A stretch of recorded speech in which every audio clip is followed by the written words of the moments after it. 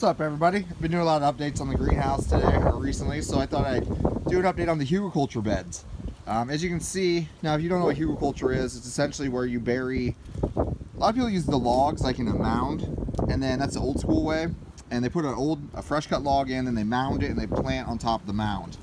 Um, I'm not a fan of it. I actually didn't try that method. I tried uh, wood chips in a container, and that were kind of already breaking down and the plant simply wouldn't grow. And I think it was a combination of things. With the wood you get, the, the bacteria basically eats on that wood as it decomposes and it locks out your nitrogen in the soil. And I also think with the wood chip thing, I was definitely retaining too much water. It wasn't fluffy enough. So last year we tried something new in a couple of my beds. And what we did is I saved the sunflower stalks and couple other things like some tomato stalks and whatever from the season before. And when I put these beds in, I actually backfilled it with the stalks and I put the dirt on top. Now, as you can see, they grew plants in it this first season, and I'll tell you what, it was amazing. I had pepper plants, and this right here, I'm not kidding, that were probably five or six feet tall. I've never seen anything like it, and they were like habaneros. They're not even supposed to get that big. It was insane the amount of growth I had on everything in these beds. But as you can see, as the winter went on, everything settled. Um, you know, we lost a good probably six inches in the bed, which is fine. I'm getting ready to move these. But it just goes to show the decomposition process was is definitely still going on down in there.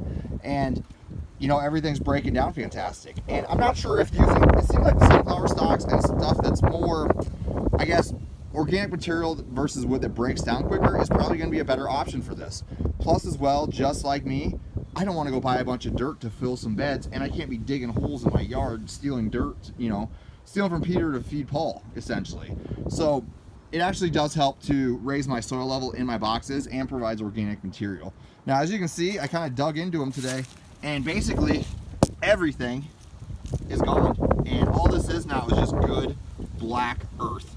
I mean, we still got some, you know, some chips and stuff or whatnot, but boy, it actually turned out fantastic. So these are actually getting ready to get moved, but I think this year what I did is I, I did go ahead and, don't mind my yard, is I saved a bunch of my stuff for when I ripped the garden out. So when we put in the new planter boxes, this is all gonna be backfill. So I'll backfill my boxes in with this pile of organic material, which I'm really looking forward to. That's quite a bit, you know? It'll save me on soil costs as well. So yeah, we'll step into the greenhouse. It's definitely windy today out here in Iowa. Got a, I have been working on the system. Ooh, it's nice and warm in here. It is 75 degrees in here right now. Super nice. The hydroponic system's coming together. I'm waiting on a water pump and then I gotta redo the plumbing. Also, I'm gonna I'm sealing these up as we speak. I'll finish doing this with silicone and then that'll be the rail. So yeah, I'm not sure if people really know what, how the system's supposed to work. Basically, you have a water line that comes up from the reservoir. That's where the water will be. It's a recirculating loop system. Hear that wind? It's windy. It's holding up good though, this greenhouse, I'll tell you what. Sounds like death. Ooh, ooh doggy, run that down. All right, so it'll come up from a, a system or a half inch pipeline submersible pump, the water reservoir. It'll come up and there'll be a quarter inch line on each one of these to fill the channel. It'll run down, create a film on the bottom of the run, and the cup sits in, and then there's a spillway on each rail, which the plumbing is here. I don't know if you saw it last time I did it.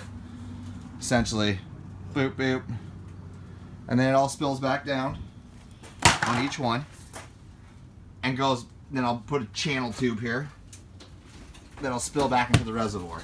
So we're probably gonna end up burying that reservoir as well once it uh, gets hot. Roots do like, I don't want the water temperatures to get too hot because we'll have problems with root rot, stuff like that with the hydroponic system.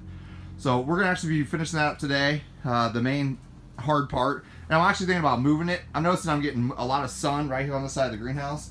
Kind of have my workstation over here.